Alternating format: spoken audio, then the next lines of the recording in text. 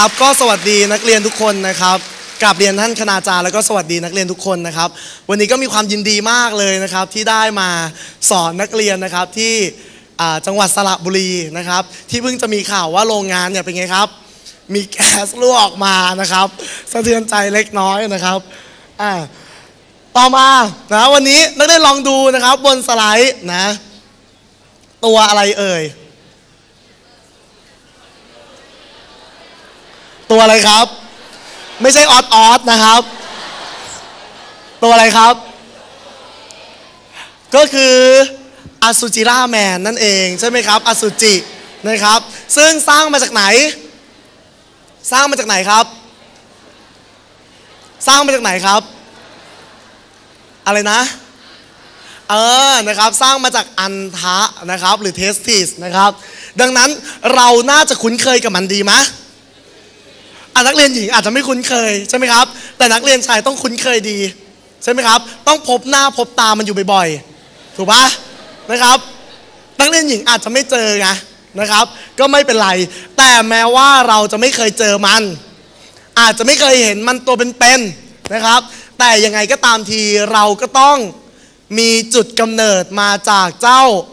ตัวสเปิร์มตัวนี้นั่นเองนะครับ แต่ตัวไหนไม่รู้ จริงไหมมันมาเป็นล้านล้านๆนักเรียนยังจำความรู้สึกตอนนี้นักเรียนแหวกว่ายอยู่ในนี้ได้ไหมครับ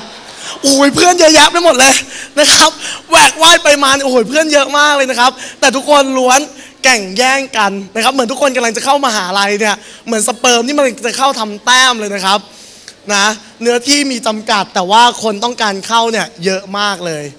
นะนะแต่ว่าไอ้เจ้าเซลล์สเปิร์มมันก็เป็น เซลล์ที่เป็นเซลล์ที่มีขนาดเล็กที่สุดเลยนะครับ ในร่างกายของผู้ชายนะ เดี๋ยวต่อไปเราลองมาดูต่อไปสิอืมอันนี้บ้าง อันนี้คือเซลล์อะไรครับ อ่า เมื่อกี้เนี่ย เราดูเซลล์ในปิกาจูไปแล้วนะครับนะว่าในปิกาจูเนี่ย มันจะปิดปิดปล่อยแสงออกมาได้เนี่ย มันต้องสร้าง ตั้งสร้างไอ้เจ้าตัวเมื่อกี้ขึ้นมาก่อน แต่คราวนี้เนี่ยเราจะเข้าไปดูในจิมิโกะกันบ้างนะครับ ว่าในจิมิโกะมันมีอะไร คือครูก็ไม่รู้ไงว่ามันมีอะไรบ้างนะครับ แต่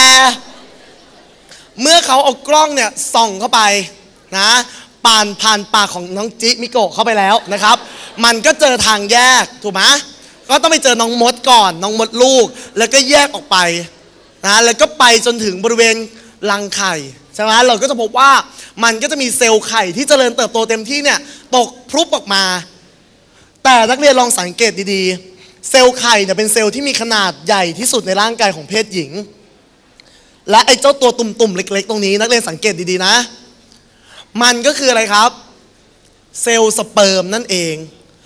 เราจะไม่พูดถึงขั้นตอนของการปั่มปามปามปามนะครับ ขั้นตอนเหล่านั้นให้นักเรียนไปเรียนในวิชาฟิสิกส์ว่าจะต้องใช้แรงเท่าไหร่นะครับ มีแรงเสียดทานเกิดขึ้นไหม หรืออาจจะต้องใช้สารลดแรงเสียดทาน หรืออัตราในการปล่อยแสงของปิกาจู มันเป็นไปด้วยความถี่เท่าไหร่นะครับ อันนั้นนักเรียนไปหาคำตอบในวิชาฟิสิกส์เราไม่สนใจทางชีวะ แต่เราสนใจหลังจากที่ปิกาจูเนี่ยมันปล่อยแสงปิดปิดปิดปิดเข้าไปในจิมิโกะแล้ว แล้วเจ้าสเปิร์มเหล่านั้น มันพุ่งพล่านเข้ามานะครับ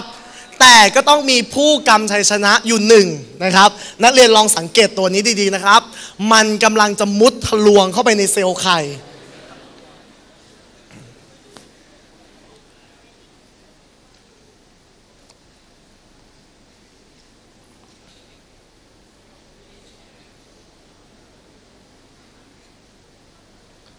ห็นไหมกำลังจะพุบเข้าไปแล้วนะ มันก็ปล่อยเอนไซม์มาย่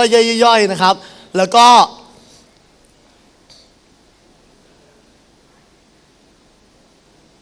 ออกเมื่อกี้ไปกดผิดกดย้อนหลังไปหน่อยนะครับ ไม่ใช่บอลไทยเวียดนามนะครับ ไม่ต้องตั้งใจขนาดนั้น เข้าไปแล้วนะครับ ดูทันไหมอ้าว เห็นไหมครับ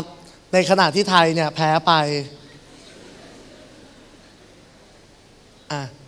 เห็นไหมครับ ดูดีๆนะครับ มันกำลังพุบเข้าไป ฟุบเห็นไหมเข้าไปแล้ว ดังนั้น ณตอนนี้นะครับ เราก็ได้ไอ้เจ้าสเปิร์มก็ได้ปะแหมกับเซลล์ไข่เนี่ยเป็นที่เรียบร้อยแล้วนะครับ ก็กลายเป็นเซลล์นะครับที่เราเรียกว่าอะไรครับ เรียกว่าไซโกตนะครับ ตอนนี้เราได้ไซโกตที่ผ่านกระบวนการปฏิสนธิแล้วนะครับ ได้ไซโกตออกมาแล้วนะ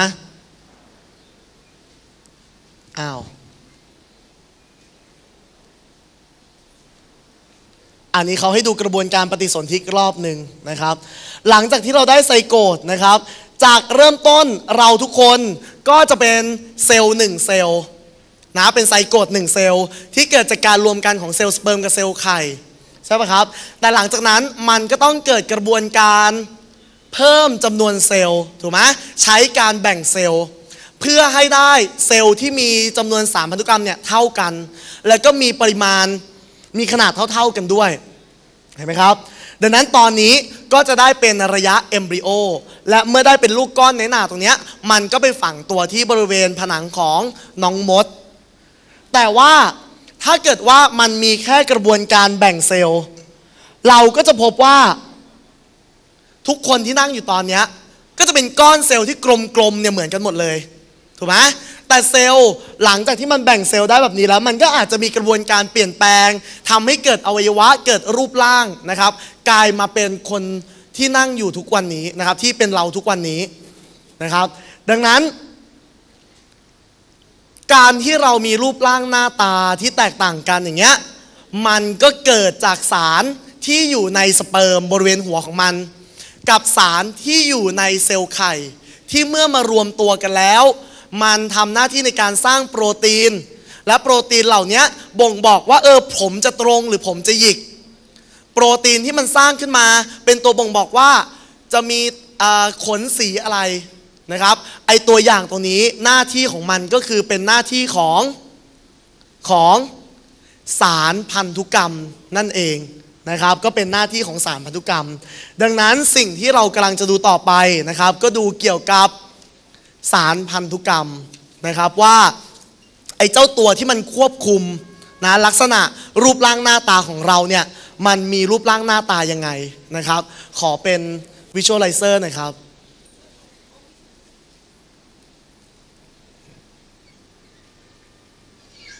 นะอะ แล้วนักเรียนดูต่อไปเลยนะครับ ในเรื่องของสารพันธุกรรมนะไอ้เจ้าสารพันธุกรรมในร่างกายของเรานะครับ มันอยู่ที่ไหน มันอยู่ที่ไหน สารพันธุกรรมในร่างกายของเรามันอยู่ที่ไหนครับ อยู่ที่ไหนครับ อยู่ใน สิ่งที่เซลล์ทุกเซลล์ต้องมีคืออะไรครับ เยื่อหุ้มเซลล์ใช่ไหมครับ ถัดจากเยื่อหุ้มเซลล์ทั้งหมดลงไปเราเรียกว่าอะไร ถัดจากเยื่อหุ้มเซลล์ทั้งหมดลงไปเราเรียกว่าอะไรครับ ทั้งหมดเลยตรงนี้เราเรียกว่าโปรโตพลาซึมถูกไหมแล้วเซลล์บางเซลล์ส่วนใหญ่ก็จะมีส่วนของนิวเคลียสใช่ไหมครับ ก็จะมีส่วนของนิวเคลียสและ บริเวณที่อยู่ระหว่างนิวเคลียสกับเยื่อหุ้มเซลล์ก็คือส่วนของไซโตพลาซึมนะครับคือส่วนของไซโตพลาซึมไอเจ้าสารที่ทำหน้าที่ควบคุมลักษณะทางพันธุกรรมของเรา ให้เรามีรูปร่างหน้าตาที่มีบางส่วนคล้ายคลึงกับพ่อ และบางส่วนคล้ายคลึงกับแม่เนี่ยมันอยู่ที่ไหน อยู่ที่ไหนครับ อยู่ใน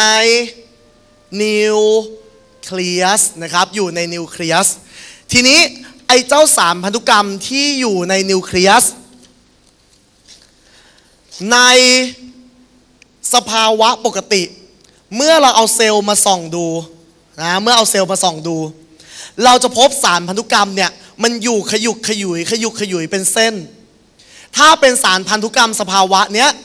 เราจะเรียกมันว่าเป็นโครมา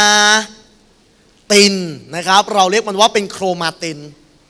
แต่เมื่อไหร่ก็ตามที่มันกำลังจะเกิดกระบวนการแบ่งเซลล์ ไอ้เจ้าโครมาตินเหล่านี้มันจะมีการหดพันแน่นเข้า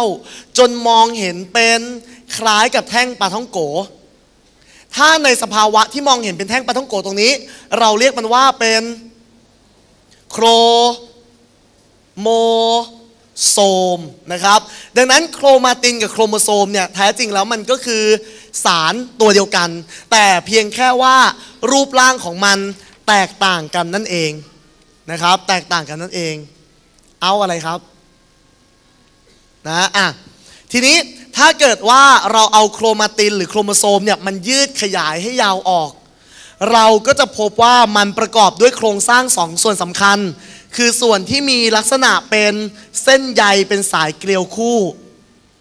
ไอโครงสร้างส่วนนี้ คือโครงสร้างของ DNA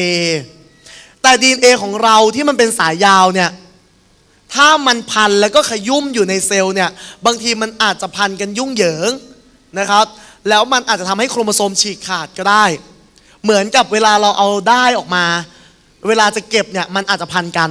ดังนั้นมันจำเป็นต้องมีโครงสร้างที่เสมือนเป็นหลอดได้ ให้สามารถพันเข้าพันออกได้อย่างอิสระ นะครับ โครงสร้างที่มัน DNA มันพันอยู่ก็คือ เป็นก้อนโปรตีนนะครับ เป็นก้อนโปรตีนที่เราเรียกโปรตีนตรงนี้ เรียกว่าโปรตีนฮิสโตนนะครับ ดังนั้นถ้าเกิดเราเขียนเป็นสมการ โครมาตินจริง ๆ มันก็คือเท่ากับโครโมโซม แต่รูปร่างมันต่างกัน แต่เมื่อเรายืดออกปุ๊บ มันต้องประกอบด้วย DNA บวกกับ ฮิสโตนนะครับ มันต้องประกอบขึ้นจาก DNA บวกกับฮิสโตนทีนี้ถ้าเรามาดูถึงส่วนประกอบของ DNA อย่างเดียวนะครับ ไอ้เจ้า DNA นะครับ สิ่งที่เราควรจะต้องรู้จักก็คืออย่างน้อยก็ต้องรู้ว่ามันย่อมาจากอะไร ย่อมาจากอะไรครับ ตัว D ย่อมาจากดีออกซีไรโบนะครับ ส่วน N ย่อมาจากนิวคลีอิก A ย่อมาจากแอซิดดังนั้นไอ้เจ้าดีนเอตัวเนี้ยมันต้องมีคุณสมบัติเป็นเบสหรือเป็นกรดแน่ๆเลย เป็นกรด และมันต้องอยู่ในไหนครับ นิวคลีอิกคือ คืออินนิวเคลียสแน่ๆเลยนะครับ แล้วมันต้องมีการดีอะไรออกสักอย่างหนึ่งดีแปลว่าอะไร ตัดทิ้งออกซิต้องดีออกซิเจนออกจากอะไรครับ ไลโบสนะครับ อันนี้ชื่อมันเดี๋ยวจะเป็นตัวบ่งบอกโครงสร้าง จากการที่เรามองเห็น DNA ที่มันเป็นสายยาว มันก็ประกอบขึ้นมาจากหน่วยย่อยที่เรียงต่อเป็นเส้นนะครับ เกิดจากหน่วยย่อยที่เรียงต่อเป็นเส้น แล้วไอ้สองเส้นนั้นน่ะมันถึงมาพันเกลียวกัน ดังนั้นสิ่งที่เราควรจะต้องรู้ต่อไปก็คือต้องรู้ว่า ไอ้เจ้าหน่วยย่อยของ DNA นั้นน่ะมันคืออะไร คืออะไรครับ คือสารที่เราเรียกว่านิวคลีโอไทนะครับ คือสารที่เราเรียกว่านิวคลีโอไทนั่นเอง จะเป็นนิวคลีโอไทได้ต้องมีส่วนประกอบ 3 ส่วนด้วยกันนะครับ มีอะไรบ้างไรโบนะครับ ไรโบมาจากอะไรครับ มาจากไรโบส ไรโบสเป็นน้ำตาลที่มีคาร์บอน 5 อะตอมนะครับ มีคาร์บอน 5 อะตอม อันนี้ตำแหน่ง 1 2 3 4 5 ปรากฏว่าตามปกติถ้าเป็นไรโบสนะครับ คาร์บอนตำแหน่งที่ 2 มันจะเป็นหมู่ไฮดรอกซิล แต่เมื่อเป็นดีออกซีมันโดนดีตัดเอาออกซิเจนออกไป เห็นไหมครับ มันจึงเรียกว่าเป็นน้ำตาลดีออกซิไลโบสนะครับ และคาร์บอนตำแหน่งที่ 1 จะเกาะกับ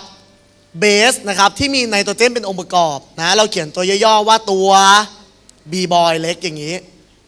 และคาร์บอนตำแหน่งที่ 5 ก็จะมีหมู่ฟอสเฟตนะครับหรือปิกเนี่ยเกาะอยู่นะครับมีหมู่ฟอสเฟตเกาะอยู่ ดังนั้นจะเป็นนิวคลีโอไทด์ได้ต้องมีองค์ประกอบ 3 ส่วน ประกอบด้วยอะไรบ้างนะครับ นิวคลีโอไทด์เท่ากับ เท่ากับดีออกซีไรโบ